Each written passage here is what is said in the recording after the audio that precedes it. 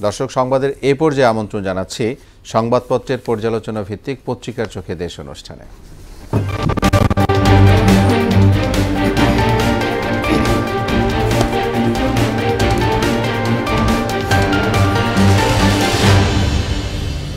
দর্শক আজকের অতিথি মোহনা টেলিভিশনের বার্তা সম্পাদক সুমন মুস্তাফিজ জনাব সুমন মুস্তাফিজ আপনাকে স্বাগত জানাচ্ছি ধন্যবাদ। জি আমরা শিরোনামগুলো পড়েছি তারপরে। আপনার সাথে আলোচনায় যাব দেখে নিব আজকের শীর্ষ পত্রিকাগুলোর প্রধান প্রধান শিরোনাম। শুরুতে আমার হাতে রয়েছে প্রথম আলো। প্রথম আলো আজকে শিরোনাম করেছে প্রজ্ঞাপনের অপেক্ষায় ছয় কমিশন, সংস্কার কমিশন বিষয়ে শিরোনাম। দেশ ডেঙ্গুতে আক্রান্ত, মৃত্যু দুটোই বাড়ছে।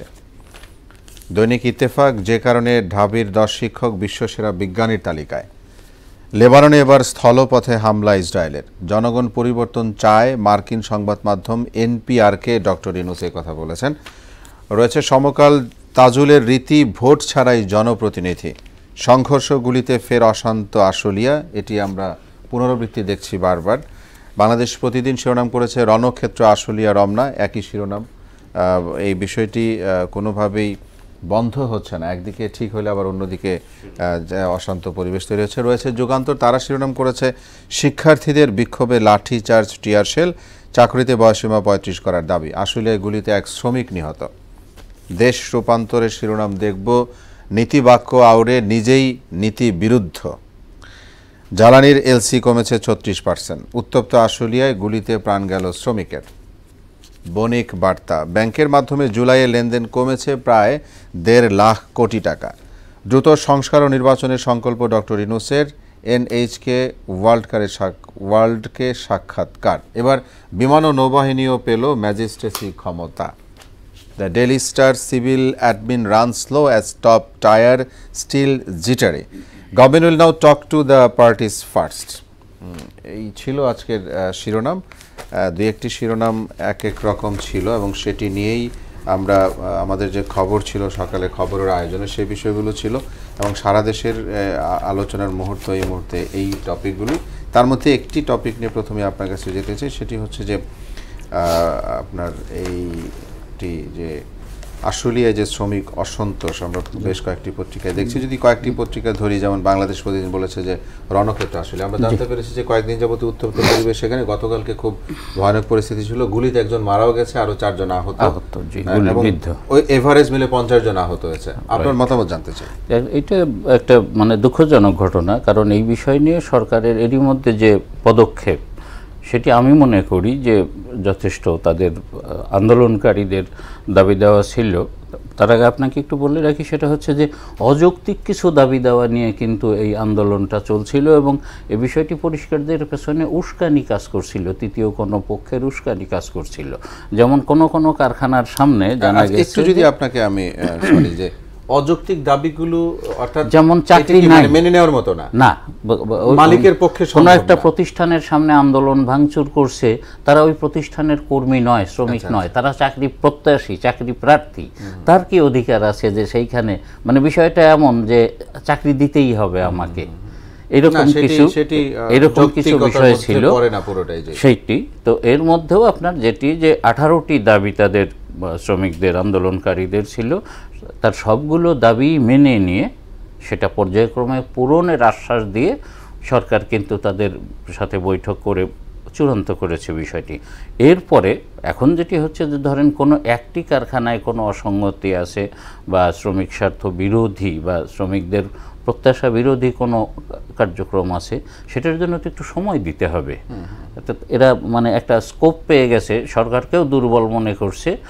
কোনো কিছু ঘটলেই তারা ইয়েতে ঢুকছে কারখানায় ঢুকছে তাদের হাজিরা দিচ্ছে দিয়ে বের হয়ে হ্যাঁ, আটটা থেকে নয়টা পর্যন্ত কারখানায় ঢুকছে এরপরে নয়টার পরে বের হয়ে এসে রাস্তায় নামছে গাড়ি ভাঙচুর করছে কারখানার ভবন ভাঙচুর করছে। এটি আমি যেটা ব্যক্তিগতভাবে মনে করি যে এখন সরকারের মানে সর্বোচ্চ কঠোর হওয়া দরকার এই বিষয় নিয়ে জি এবং আইন শৃঙ্খলা পরিস্থিতির পাশাপাশি এই যে অরাজকতা সেই সাথে রাস্তায় যে যানজট আমরা আমাদের সাথে একজন প্রতিনিধি ছিলেন পর্যন্ত, হয়েছিলেন। জি। সকালের খবরে আমরা শুনলাম যে সেখানে ঢাকা টাঙ্গাইল মহাসড়কে হাজার হাজার মানুষ সেটা তো একটা ব্যস্ত রাস্তা খুব ব্যস্ত রাস্তা, স্বাভাবিক যে এই রাস্তা যদি পাঁচ মিনিটের জন্য বন্ধ করা হয়, তাহলে যে ট্রাফিক জ্যাম তৈরি হবে, ওইটা ছাড়াতে পাঁচ ঘণ্টা লাগবে। তো এইরকম রাস্তায় কোনো কিছু হলেই কারখানায় ঢিল ছুঁড়ে ভাঙবে আর রাস্তা বন্ধ করে দেবে, এটা, এখন, এখনকার অবস্থা এটা মেনে নেওয়া যায় না। আবার এই যে একজন নিহত হয়েছে, এই গুলি কাদের গুলিতে নিহত হলো? সেটা তো হয়তো বা আইন শৃঙ্খলা রক্ষাকারী বাহিনীর গুলিতেই হবে কিন্তু তার পেছনের প্রেক্ষাপটটা একটু ভাবতে হবে। আমি গুলির পক্ষে ঠিক সাফাই গাইছি তা নয় বাট পরিস্থিতি যখন এমন মানে দাঁড়ায় যে পর্যায়ে আসলে পরে এই হার্ডলাইনে যাওয়া আমি আমি সেই কথাটি বলতে চাচ্ছি। আমি যতটুকু শুনেছি যে ওখানে দুই তিনটা গাড়িও আইন শৃঙ্খলা রক্ষাকারী বাহিনীর র্যাব পুলিশের গাড়িও জ্বালিয়ে দেওয়া হয়েছে। আচ্ছা, আচ্ছা। যে বিষয়গুলো যখন পরিস্থিতি অশান্ত হয়ে যায় তখন জনস্বার্থেই কিছু পদক্ষেপ নিতে হয়। যে আর অর্থনীতির অনেক বড় চাকার ক্ষেত্রে খুব বেশি রকম সবচেয়ে বড় বিদেশি আয়ের উৎস গুড রুল গার্মেন্টস সেক্টর জি। সেটি যদি এরকম অশান্ত হয়ে যায় বারবার তাহলে সেখানে সামগ্রিক দেশের যে অর্থনীতি সেখানে একটা প্রভাব পড়ে। আমরা চাই এটির একটি সমাধান হোক এবং জনগণ এখন সবকিছুতেই চায় যে খুব দ্রুত সমাধান হোক। আমরা সেটি প্রত্যাশা করি। আরেকটি বিষয় নিয়ে আপনার সাথে কথা বলতে চাই সে বিষয়টি যেমন ডেঙ্গু এটিকে কোনোভাবেই আমরা কথা না বলে যেতে পাচ্ছি না। কার্যকর কি পদক্ষেপগুলো নেওয়া উচিত বলে আপনি মনে করেন? আমরা প্রতিদিনই দেখতেছি যে আজকেও পাঁচজন মারা গেছে জি। ডেঙ্গুর কার্যকর পদক্ষেপ তো ডেঙ্গুর উৎস এডিস মশা মশা নিধন করা এডিস মশা নির্মূল হলেই ডেঙ্গু অন্তত নিয়ন্ত্রণ হবে। পুরোপুরি কমে না গেলে শেষ না হলেও নিয়ন্ত্রণ হবে।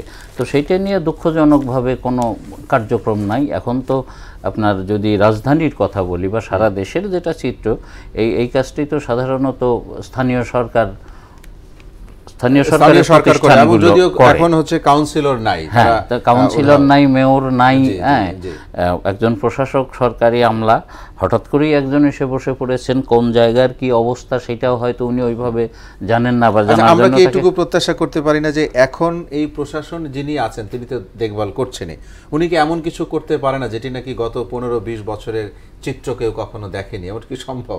সেটা তো করা যেতেই পারে সেটার জন্য মানে তার যে ব্যাকআপটা দরকার সেইটা আমরা কতখানি প্রোভাইড করতে পারছি বা সরকার কতটা দিতে পারছে আমাদের অজানা হ্যাঁ হ্যাঁ তবে ইয়া মানে ওভারনাইট কোনো কিছু করে ফেলা সম্ভব নয় কিন্তু এটি সত্য আপনি যেটি প্রত্যাশা করছেন যে মানুষের প্রত্যাশার মতো বা কীভাবে বলব যে চোখে পড়ার মতো জন্য চোখে পড়ার মতো কিছু কাজ সেটি হতেই পারে করা উচিত যে এমন মানুষ যেন এমন এমন বলে চা- চাষস্থল থেকে শুরু করে সব জায়গায় যেন এমন আলোচনা হয় যে মশা মারার জন্য এরকম পদক্ষেপ আমরা আর কখনো দেখিনি। এরকমটি তো হওয়া উচিত হ্যাঁ তাই না? হগার মেশিন এখন আছে এক সময় আমি মানে আমার চাচার মুখে গল্প শুনেছি যে মশা নিধনের জন্য পাকিস্তান আমলে একবার সেই মশার স্প্রে করা হয়েছিল হেলিকপ্টার দিয়ে প্লেন দিয়ে। যার পরবর্তী পাঁচ সাত বছরও কোনো কীট পতঙ্গ চোখে পড়ে নাই। এই তেলাপোকা মাকড়সা এরকম কোনো কীট পতঙ্গ নাকি ছিল না। তো তাহলে আমরা এত ভালো কিছু বলি আধুনিকতার কথা বলি একবিংশ শতাব্দীর কথা বলি সেই আপনি কত কবেকার কথা বলছেন তাহলে আজকে এসে কি শিখছি? কি দেখছে কি হচ্ছে? না এটি বিষয় এটি বিষয় এবং খুব আমি মনে করি যে খুবই জরুরি কারণ এই পত্রিকায় যে রিপোর্ট এসছে আপনার গত বছরের তুলনায় এবার তো অনেক বেশি প্রকোপ ডেঙ্গুর। গত নয় মাসে মানে গতকাল পর্যন্ত আপনার একশো তেষট্টি বা একষট্টি জন মারা গেছেন। এর মধ্যে শুধুমাত্র গত মাসেই মারা গেছেন আশি জন।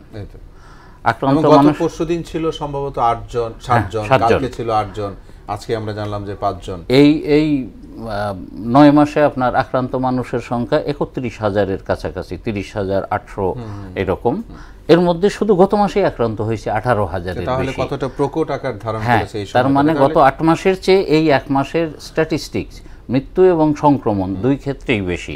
এবং আশঙ্কা করা হচ্ছে চিকিৎসকরা বলছেন যে আগামী মাসে এটি আরও বাড়তে বাড়বে। পারে। চলতি মাস থেকে এটি আরও বাড়বে। দুঃখজনক। আমি এই জায়গার মাধ্যমে কথা বলে যারা সংশ্লিষ্ট বিষয়ে দায়িত্ব পালন করছেন এই বিষয়ে দেখভাল করার যিনি দায়িত্ব দায়িত্বে আছেন মানে তিনি এমন কিছু করুক যেটি আমাদের দেশের এই আঠারো কোটি লোক যেন দেখে সেটি নিয়ে কথা বলে খুশি হ্যাঁ, হয়। হ্যাঁ, খুশি হয় যে মশা নিধনের জন্য এরকম একটি ভূমিকা আমরা কখনো দেখিনি যেটি নেওয়া হয়েছে।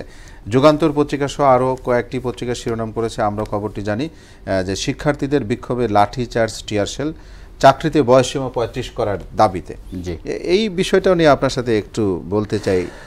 এটি নিয়ে তো আন্দোলন চলছেই এটা নতুন না বা গতকালই বিষয়টা নয়। তো লাঠিচার্জের যে বিষয়টি উঠে এসেছে লাঠিচার্জ কাদানে গ্যাস চার্জ করা হয়েছে। তো আন্দোলনকারীরা শাহবাগে এটা শুরু করছিলেন এবং শুরু থেকেই শাহবাগ বা ঢাকা বিশ্ববিদ্যালয় ভিত্তিক হয়ে আসছিল আন্দোলনটা। এর মধ্যে গতকাল আন্দোলনকারীরা আপনার প্রধান উপদেষ্টার বাসভবনের সামনে অবস্থান নেয়। যে জায়গাটি খুব স্বাভাবিকভাবেই রেস্ট্রিক্টেড সংরক্ষিত জায়গা। তো পুলিশের দাবি যে সেখান থেকে তাদেরকে সরানোর জন্য লাঠিচার্জ, কাদানে গ্যাস ছুটতে বাধ্য হয়েছে আইন শৃঙ্খলা বাহিনী। সেটি হতেই পারে কারণ একজন প্রধান উপদেষ্টা, উনি তো মানে রাজনৈতিক সরকার নয়, কিন্তু তিনি তো সরকার প্রধান। তার বাসার সামনে আমরা যদি এইভাবে চিন্তা করি বিষয়টা যে একজন রাজনৈতিক সরকারের প্রধানমন্ত্রীর বাসার সামনে গিয়ে এইভাবে অবস্থান নেওয়ার সুযোগ বা সুবিধে কি কারোর জন্য? আমরা একদম শেষ পর্যায়ে আপনি এক কথায় বলবেন যে এটি জনগণ কীভাবে দেখতে পারে? যে রাজনৈতিক সরকার যা করেছে অন্তর্বর্তী সরকারও কি একই কাজ করল? এরকমই কি? না আমি আমি মনে করি না। অসংখ্য ধন্যবাদ আপনাকে। আজকে আমাদের সঙ্গে সময় দেওয়ার জন্য।